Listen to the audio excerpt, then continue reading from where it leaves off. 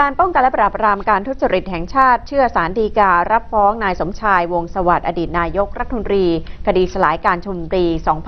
2551 ค่ะ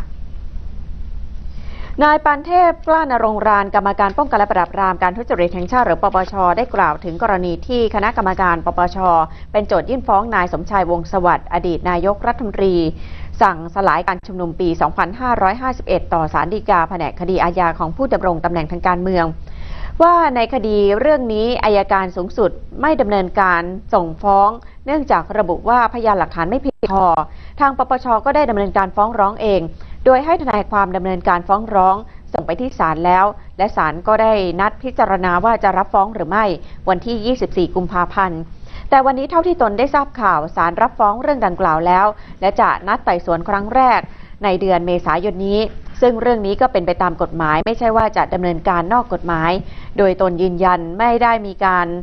เอาประเด็นการเมืองเข้ามาเกี่ยวข้อง ส่วนการดำเนินการของปปชในเรื่องดังกล่าว และที่ผ่านมาในช่วงนี้จะส่งผลให้เกิดการลุกฮือหรือไม่นั้นไม่ทราบ เพราะดูแลเฉพาะในส่วนของปปชเท่านั้น ก็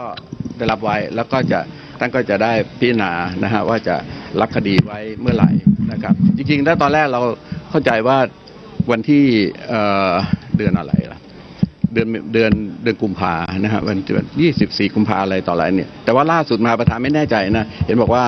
ศาลท่านท่านรับไว้แล้วนะครับ แล้วก็จะมีการนัดแรกอะเขาเรียกเปิดเป็นคดีมั้ยนัดแรกเนี่ยประมาณเดือนเมษา